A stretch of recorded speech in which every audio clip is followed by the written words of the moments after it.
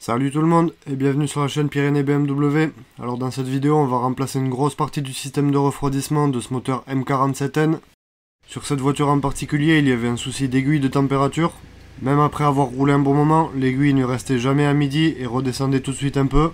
Alors que sa position normale doit être à midi comme vous pourrez le voir à la fin de la vidéo.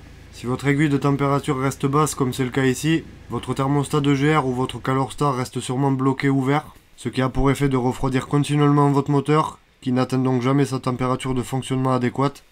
On a donc décidé de remettre une grosse partie du système à neuf et de vous filmer tout ça. Au cours de cette vidéo, on viendra remplacer la pompe à eau et son joint, le calorstat, le thermostat de GR, la sonde de niveau de liquide de refroidissement, la sonde de température de liquide de refroidissement, la durite basse ainsi que la durite haute du radiateur, le tuyau de retour de LDR, le vase d'expansion ainsi que la durée de base du vase, et on terminera la vidéo par une purge complète et détaillée du système de refroidissement. Si vous voulez visionner un moment particulier de la vidéo, on vous inclut des repères temporels juste en dessous dans la description. On va commencer tout de suite par se donner un peu d'espace en démontant le ventilateur. On va débrancher la prise du capteur AUC ainsi que la prise du ventilateur car il est électrique sur cette voiture. On va venir dévisser la vis torque sur la gauche du ventilateur et ensuite retirer le petit clip sur la droite pour pouvoir le retirer de la face avant.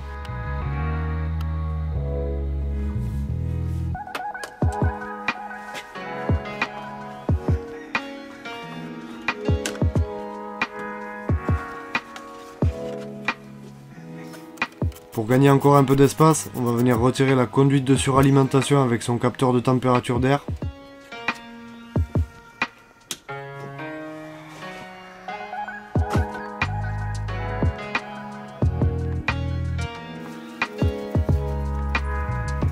pouvez le voir et toujours dans le but de gagner de l'espace pour travailler, on a retiré entièrement le collecteur d'admission ainsi que le cache sous moteur, de manière à pouvoir vidanger tout le système et accéder à toutes les durites.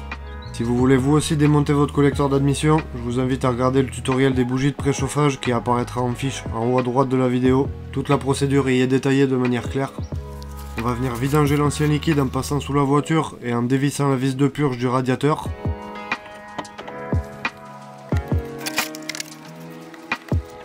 Plus qu'à attendre que tout le système se vide de son liquide. Et pour aider, on va venir dévisser les autres vis de purge de circuit. La purge du thermostat de GR. La purge du tuyau de retour en plastique. La purge de la durite haute du radiateur à côté du vase d'expansion.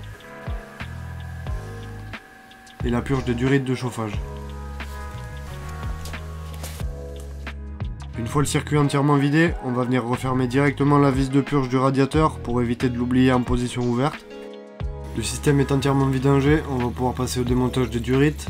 Elles sont pour la plupart maintenues en place avec des connecteurs rapides. Il suffit de lever le petit clips métallique et de venir tirer sur la durite pour la déconnecter. Comme vous pouvez le voir, nous avons commencé par la durite haute du radiateur et du vase d'expansion. Pour la démonter plus facilement, on va venir dévisser les trois boulons de disque qui la maintiennent sur la culasse avec un connecteur plastique. On peut d'ailleurs remarquer qu'il y a une petite fuite de liquide de refroidissement au niveau du joint du connecteur plastique. On passe ensuite à la durite basse du radiateur, qui est fixée au calorstat ainsi qu'au refroidisseur de GR par une petite durite. Il est possible qu'il reste un peu de liquide de refroidissement dans ces parties du circuit, alors n'hésitez pas à placer une petite bassine en dessous pour éviter d'en mettre partout quand vous démontez. On va ensuite venir déconnecter la durite basse du vase d'expansion, qui était visiblement bien en place. Pour démonter le vase d'expansion avec son support, on va devoir dévisser deux vis Torx. La première se situe en haut, en dessous de l'entrée du radiateur, et la seconde en bas, près des vis de purge du vase.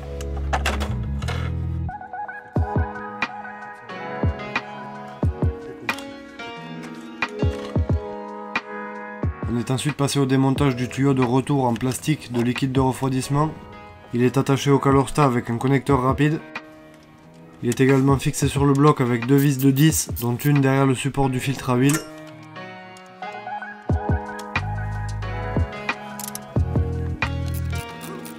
A l'autre bout, il est connecté au durite de chauffage par un connecteur rapide. Il est également connecté au retour du refroidisseur de GR avec une petite durite. Malheureusement, même en ayant déconnecté tous les connecteurs rapides et les durites, il n'y a pas assez de place pour sortir le tuyau de retour sans démonter au préalable le refroidisseur de GR. On va donc venir le démonter. Il est maintenu en place sur la droite par deux vis laine au niveau du thermostat de GR. On va également enlever la petite vis qui maintient le thermostat EGR sur son support. Il reste ensuite sur la gauche une autre vis à Que deux vis Torx qui sont plus difficiles d'accès et qui maintiennent le tube d'arrivée des gaz du refroidisseur sur le collecteur d'échappement. Sur ce plan, vous allez pouvoir voir plus clairement où elle se situe. Ok, maintenant que le refroidisseur de GR est sorti, on va pouvoir s'occuper de démonter le Calorsta. Il est fixé sur la pompe à eau avec 4 vis Torx.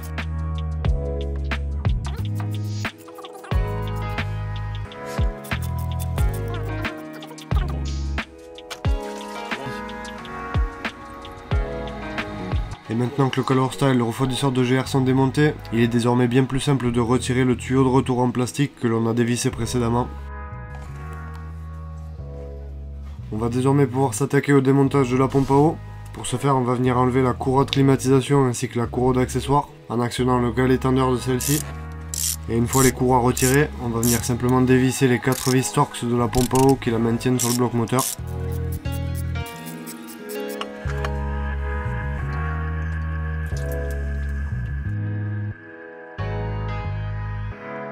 Va ensuite venir décoller l'ancien joint de la pompe à eau il est possible qu'une de ces extrémités soit bloquée entre deux carters. Il faudra alors venir découper soigneusement cette extrémité pour pouvoir le retirer. On pourra ensuite venir nettoyer le plan de joint.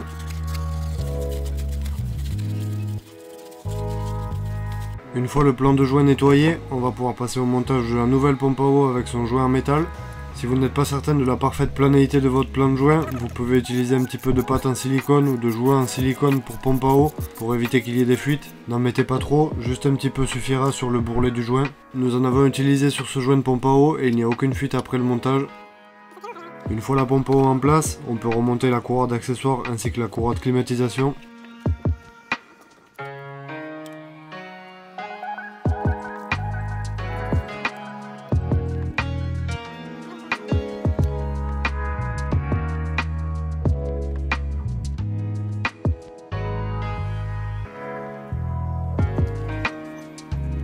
Du compresseur de clim est dite élastique, il faut commencer à la placer sur les poulies et ensuite faire tourner le moteur à la main tout en la poussant pour qu'elle vienne se positionner dans les gorges.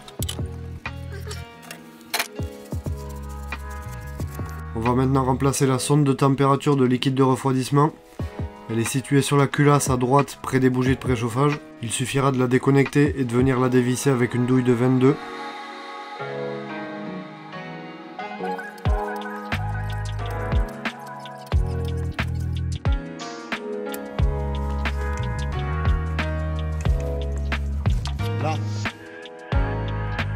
Ensuite au montage du nouveau tuyau de retour en plastique et du nouveau Calorsta.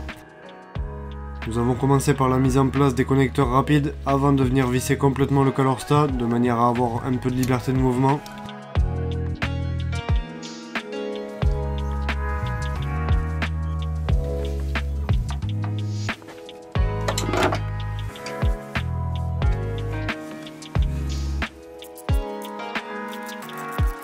Une fois le tuyau de retour bien en place, on peut désormais venir visser le nouveau Calorsta sur la pompe à eau.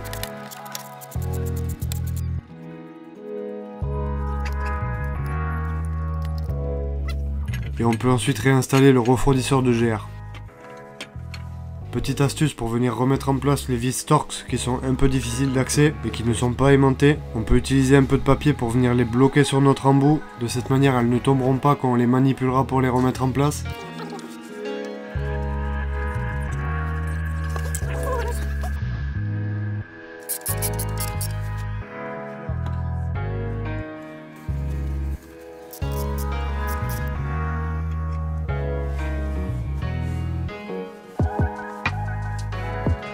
On remonte ensuite la durée de base du radiateur qui se fixe à notre nouveau Calorsta avec un connecteur rapide et qui se fixe également au refroidisseur de GR avec une petite durite.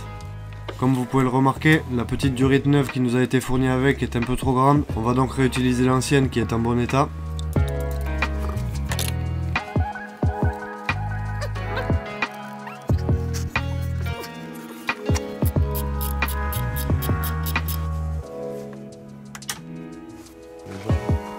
On remet en place le support du vase d'expansion.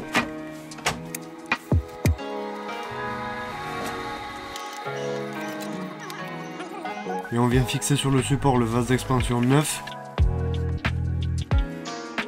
Le vase d'expansion est en place, on va pouvoir désormais remonter toutes les autres durites.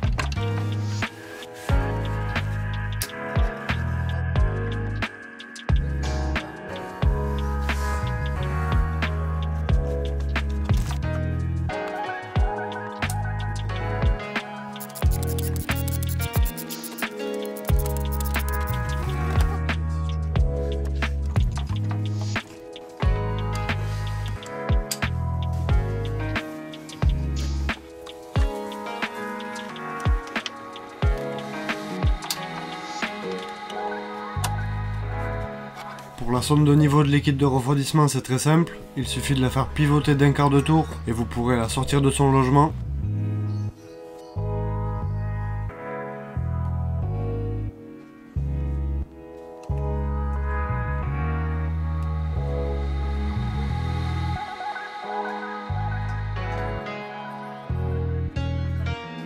On va vous montrer comment remplacer votre thermostat de GR sans avoir à démonter votre refroidisseur de GR. Pour ce faire, on va dévisser la petite vis de 8 du support du thermostat et défaire le collier de la durite d'eau.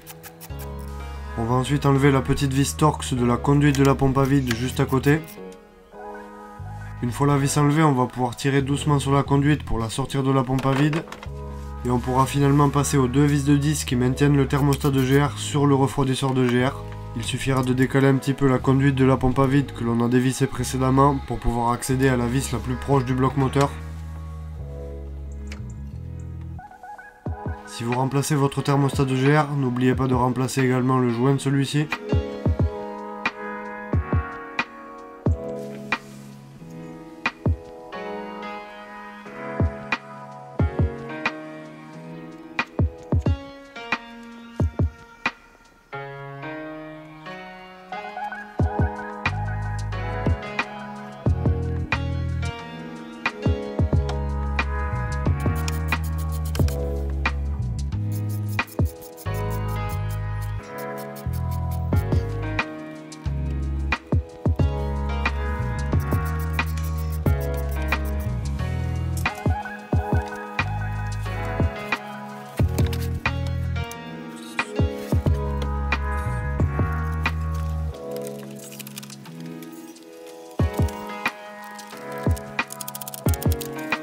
Remontage est terminé et on a également remis en place le collecteur d'admission. On va donc pouvoir passer au remplissage et à la purge du système.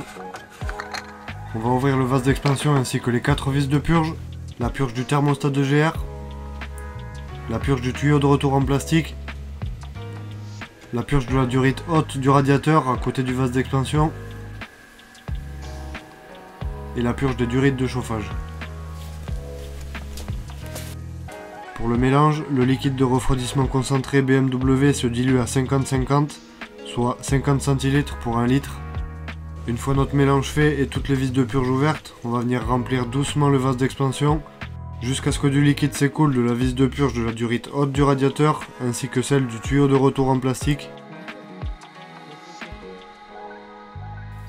Dès que du liquide s'échappe de ces deux vis de purge, vous pouvez venir les refermer. On va ensuite venir remplir le vase d'expansion à rabord et également fermer les vis de purge des durites de chauffage et du thermostat de GR.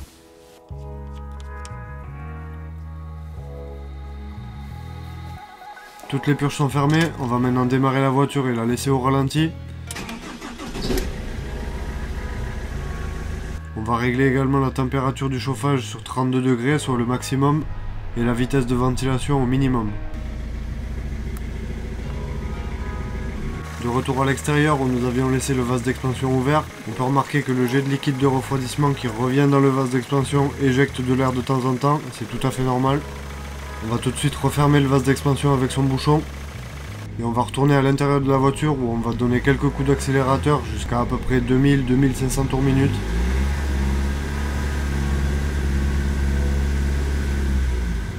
De retour à l'extérieur, après avoir accéléré quelques fois, on va venir rouvrir le vase d'expansion et on va laisser tourner la voiture 5 ou 10 minutes avec le vase d'expansion ouvert. Vous allez voir le débit du jet de retour varier lorsqu'il expulsera de l'air. 10 minutes plus tard, vous devriez obtenir un jet de retour continu, sans interruption ni bruit de bulle, ce qui voudra dire que votre système a été quasiment entièrement purgé de tout son air.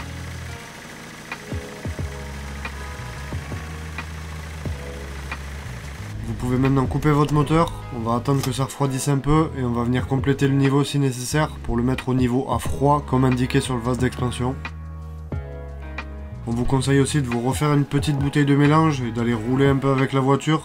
De cette manière, s'il reste quelques bulles d'air dans votre circuit et qu'il redescend un petit peu après la route, vous pourrez refaire la pointe liquide. Vérifiez également que la voiture ne chauffe pas trop. Et très important, avant de partir faire un essai sur la route, vérifiez qu'il n'y ait pas de fuite importante sous la voiture ou sur les pièces que vous avez montées. Et si tout semble correct et que l'essai routier est concluant, je vous invite à aller prendre une bonne bière, vous l'avez mérité. Merci à vous de nous avoir suivis et n'hésitez pas à vous abonner si la vidéo vous a plu. Ciao ciao